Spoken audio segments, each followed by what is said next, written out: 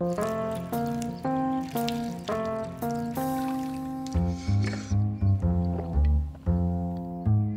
kitty, kitty.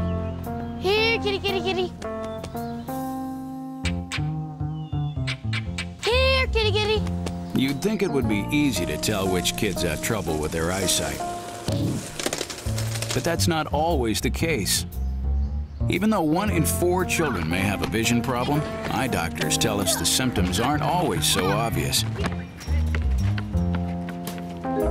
We do know that 80% of all childhood learning is visual.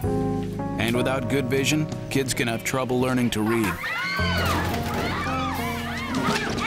and may fall behind in school.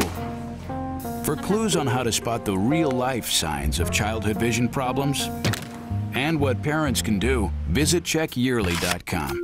A public service message from the Vision Council of America and Reading is Fundamental.